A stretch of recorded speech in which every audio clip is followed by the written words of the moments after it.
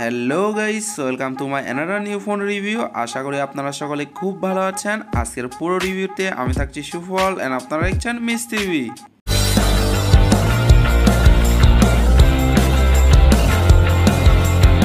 this is the Realme eight pro ডিজাইনের দিক থেকে এটি যেমন ফ্ল্যাগশিপ কিলার লুক ডিভাইস তেমনি এর প্রসেসর এবং ক্যামেরাটির জন্য এটি অ্যাপ্রিসিয়েট করার মতো একটি ফোন রিয়েলমির প্রশংসা এখানে করতেই হবে, কারণ এই ফোনটি অনেক দিক থেকেই আমার কাছে পারফেক্ট ফোন মনে হয়েছে। সব ফোন যেমন পারফেক্ট হয় না, তেমনি রিয়েলমি এইট প্রোর ক্ষেত্রে আমি কিছুটা হলেও ডিসঅ্যাপয়েন্টিং সো গাইস আজকে পুরো রিভিউতে রিয়েলমি এইট প্রো ফোনটি আপনার জন্য কেমন হবে এবং কতটুকু বেলু ফোন মানে দিচ্ছে, তা নিয়ে বিস্তারিত আলোচনা করার চেষ্টা করব। মিস্তিবি চ্যানেলে যারা নতুন এসেছেন, অবশ্যই চ্যানেলটিকে সাবস্ক্রাইব করবেন এবং পাশে থাকা বেল আইকনটিকে সবসময়ের জন্য অন করে দিবেন, যাতে আমার প্রতিটি ভিডিও আপডেট আপনি সবার আগে পেয়ে যান।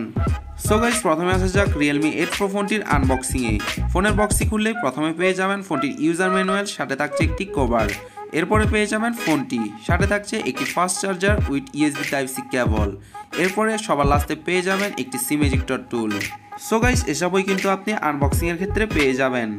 এবার আসা যাক ফোনটির ডিসপ্লে দিকে নিয়ে। ফোনটির ডিসপ্লেটি সিক্স পয়েন্ট ফোর ইঞ্চির একটি সুপার অ্যামোলেদের ডিসপ্লে যার resolution full HD plus thousand eighty into two thousand four hundred pixels যার পিপিআর এনসিসি থাকছে four hundred eleven so guys ফোনটির ডিসপ্লে দিকে নিয়ে বলতে গেলে ফোনটির ডিসপ্লেটি এক কথায় অসাধারণ। সুপার অ্যামোলেদের ডিসপ্লের শার্পনেস এবং কালার রিপ্রোডাকশন এক কথায় অসাধারণ হয়ে থাকে, যার কারণে আপনি ভিডিও কিংবা গেমস খেলার সময় ভালো একটা এক্সপিরিয়েন্স পেয়ে যাবেন। ফোনটিতে থাউজেন্ড নিটস পর্যন্ত ম্যাক্স ব্রাইটনেস দেওয়া হয়েছে, যার কারণে ফোনটির আউটডোর ভিজিবিলিটি ছিল মোটামুটি অনেকটাই ভালো। এছাড়া ফোনটিকে ডাইরেক্ট সানলাইট ইউজ করা অনেকটাই সহজ। ফোনটির ওজন একশো ছিয়াত্তর গ্রাম, যা আমার কাছে তুলনামূলক হালকা এবং স্লিম মনে হয়েছে, যার কারণে ফোনটিকে হাতে নিয়ে প্রিমিয়াম একটা ফিল পেয়ে যাবেন। ফোনটির প্রোটেকশন হিসেবে ফোনটি দেওয়া হয়েছে কর্নিং গরিলা গ্লাস। তবে এটা কোন জেনারেশনের তা সঠিকভাবে বলা হয়নি। তবে আমার মতে তা কর্নিং গরিলা গ্লাস ফাইভ কারণ এর প্রিভিয়াস সেভেন প্রোতে কর্নিং গরিলা গ্লাস ফাইভের প্রোটেকশন দেওয়া হয়েছিল। এছাড়া ফোনটির ব্যাক পার্ট এবং ফ্রেমটি প্লাস্টিক মেড তবে প্লাস্টিক বডি হলেও এটি গ্লোসি ফিনিশ দেওয়া হয়েছে, যার কারণে ফোনটিতে কিছুটা আলো পড়লেই অনেকটাই সুন্দর দেখায়। ফোনটির ব্যাক পার্টে নর্মাল স্ক্রেচ পড়লে ডাক পড়ার সম্ভাবনা নেই, তবে এতে যদি আপনি হার্ড স্ক্রেচ করেন তবে তার ডাক পড়ে যাবে। সো গাইস ফোনটির ডিজাইন নিয়ে বলতে গেলে ফোনটির ডিজাইন আমার থেকে প্লাস্টিকের মধ্যে গর্জিয়াস মনে হয়েছে। তবে এখানে প্লাস্টিকের ব্যাগ না দিয়ে গ্লাস ব্যাগ দিলে আরও বেশি খুশি হতাম। এছাড়া ফোনটির ডিউরিটি নিয়ে বলতে গেলে ফোনটির ডিউরিটি আমার কাছে মোটামুটি ভালো মনে হয়েছে। তবে বাড়তি প্রোটেকশনের জন্য অবশ্যই বক্সে দেওয়া কভারটিকে লাগিয়ে ফোনটিকে ইউজ করতে পারেন। ফোনটির ডিসপ্লে সেকশনটি সব দিক থেকে পারফেক্ট হলেও এটি কিন্তু হায়ার রিফ্রেশের সাপোর্টেড দেওয়া হয়নি। হায়ার রিফ্রেশের সাপোর্টের ডেলি ইউজে ফোনটিকে অনেকটাই বুস্ট এবং স্মুথ ফিল দেয় যা অনেকের কাছেই ভালো লাগে। সো আমার মতে এখানে অ্যাটলাস নাইনটি হার্সের রিফ্রেশের দেওয়া উচিত ছিল। বাট সোস্যাট সিক্সটি হার্সের ডিসপ্লেতেই থাকতে হচ্ছে। এবার আসা যাক ফোনটির ক্যামেরা সেকশনটিকে নিয়ে। ফোনটির ক্যামেরা সেকশনে ব্যাক ক্যামেরা ব্যবহার করা হয়েছে কোয়াড ক্যামেরা যার প্রধান ক্যামেরা সেন্সরটি একশো আট মেগাপিক্সেলের স্যামসাং এর তৈরি সেন্সর এছাড়া বাকি ক্যামেরাগুলো হলো এইট মেগাপিক্সেলের আলট্রা ওয়াইড সেন্সর টু মেগাপিক্সেলের ম্যাক্রো সেন্সর এবং টু মেগাপিক্সেলের ডেপথ সেন্সর একশো আট মেগাপিক্সেলের ক্যামেরা সেন্সরটি সত্যি অসাধারণ পারফরমেন্স করে। তবে চৌষট্টি আর একশো আট মেগাপিক্সেলের ক্যামেরা সেন্সরের মধ্যে পার্থক্য এতটাও চোখে পড়ার মতো ছিল না। তবে শার্পনেস এবং ডিটেলসের ক্ষেত্রে একশো আট মেগাপিক্সেলের ক্যামেরা সেন্সরটি far better than sixty four megapixel. So guys main ক্যামেরায় তোলা ছবিগুলোতে শার্পনেস এবং ডিটেলস ম্যাক্স লেভেলের পেয়ে যাবেন। এছাড়া আলট্রা ওয়াইড ক্যামেরায় তোলা ছবিগুলোতে আলোর পরিমাণ ভালো থাকলেও ডিটেলসের পরিমাণ কিছুটা কম অবশ্যই লক্ষ্য করবেন। বাকি থাকছে ম্যাক্রো এবং ডেপ সেন্সর। তবে আমার মতে এগুলো এতটাও কাজের না শুধুমাত্র শো অফ তবে ম্যাক্রো ক্যামেরায় আপনি যদি শক্ত হাতে ভালো অ্যাঙ্গেলে ছবি তুলতে পারেন তাহলে তা অনন্য লেভেলে নিয়ে যেতে পারে। ব্যাক ক্যামেরায় ভিডিও রেকর্ডিং এর ক্ষেত্রে four K ultra HD two thousand one hundred sixty বিতে ভিডিও শুট করার অপশন রয়েছে। এছাড়া ব্যাক ক্যামেরা ভিডিও রেকর্ডিং এর ক্ষেত্রে জাইরো ইয়াস মুডও থাকছে যার কারণে ভিডিও রেকর্ডিং করার সময় ভালো একটা স্টেবিলাইজেশন পেয়ে যাবেন। ফোনটির ফ্রন্ট ক্যামেরা দেওয়া হয়েছে সিক্সটিন মেগাপিক্সেলের একটি পাঁচশোল ক্যামেরা। সেলফি ক্যামেরায় তোলা ছবিগুলোতে শার্পনেস এবং ডিটেলসের পরিমাণ মোটামুটি ভালোই ছিল। সেলফি ক্যামেরায় বিউটি মুড থাকায় কালো মানুষেরও ফর্সা বানিয়ে দেয়, যা অনেকের কাছে ভালো লাগতে পারে, আবার অনেকের কাছে ভালো না লাগতে পারে। যাদের কাছে ভালো লাগবে না সিম্পলি এটিকে অফ করে দিবেন। সেলফি ক্যামেরায় ভিডিও রেকর্ডিং ক্ষেত্রে ফুল এইচডি থাউজেন্ড এটিভিতে ভিডিও শুট করতে পারবেন। এছাড়া সারপ্রাইজিংলি এখানেও জাইরো ইয়ারস মোড দেওয়া হয়েছে। এবার আসা যাক ফোনটি পারফরমেন্স সেক্টরটিকে নিয়ে। ফোনটির অপারেটিং সিস্টেম হিসেবে দেওয়া হয়েছে অ্যান্ড্রয়েড ইলেভেন এবং Realme UI two point zero Android eleven এবং Realme UI two point zero মাহনের মতো কাজ করে, কারণ রিয়েলমি ইউআই টু পয়েন্ট জিরোকে ভালো অপটিমাইজ করা হয়েছে।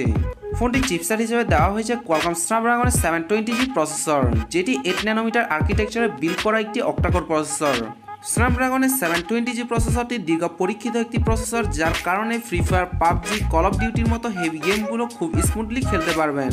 এর প্রিভিয়াস রিয়েলমি সেভেন প্রোতেও কিন্তু স্ন্যাপড্রাগনের সেভেন টোয়েন্টি জি প্রসেসর ব্যবহার করা হয়েছিল। বাট রিয়েলমি এইট প্রোতে এসে একই প্রসেসর হওয়ায় তারা চাইলে কিন্তু এখানে স্ন্যাপড্রাগনের সেভেন টোয়েন্টি জি প্রসেসর না দিয়ে সেভেন সিক্সটি ফাইভ কিংবা সেভেন ফিফটি জি প্রসেসর দিতে পারত।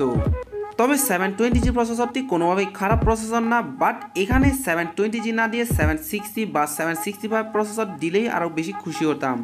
এছাড়া ফোনটির মূল প্রসেসরে দেওয়া হয়েছে octa core up to two point three দিগার্সের একটি প্রসেসর জিবিউতে থাকছে Adreno six hundred eighteen so guys ফোনটি প্রসেসর নিয়ে বলতে গেলে ফোনটি প্রসেসরটি আমার কাছে মোটামুটি ভালোই মনে হয়েছে। ডেলি ইউজে মাল্টিটাস্কিং কিংবা গেমিংয়ের ক্ষেত্রে ভালোই পারফরমেন্স দিবে এই প্রসেসরটি ফোনটি ব্যাটারি সেকশনে দেওয়া হয়েছে লিথিয়াম পলিমারের চার হাজার পাঁচশো এমএচের একটি নন রিমুভেবল ব্যাটারি এছাড়া আপনি ইনবক্সেই ফিফটি ওয়াদের একটি ফাস্ট চার্জার পেয়ে যাবেন, যা দিয়ে zero to hundred percent charge করতে প্রায় পঞ্চাশ মিনিট পর্যন্ত সময় লেগেছিল।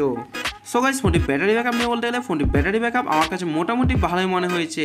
একদিকে স্ন্যাপড্রাগনের প্রসেসর অপরদিকে সুপার অ্যামোলেড ডিসপ্লে দুটোই কিন্তু পাওয়ার এফিসিয়েন্স যার কারণে হেভি গেম প্লে করলে প্রায় সাত ঘণ্টা পর্যন্ত ব্যাকআপ পেয়ে যাবেন। আর যদি আপনি ডেলিট ইউজে ফেসবুক ইউটিউবের মতো ছোটোখাটো অ্যাপগুলো ইউজ করে থাকেন, তাহলে প্রায় দুই দিন পর্যন্ত ব্যাকআপ পেয়ে যাবেন।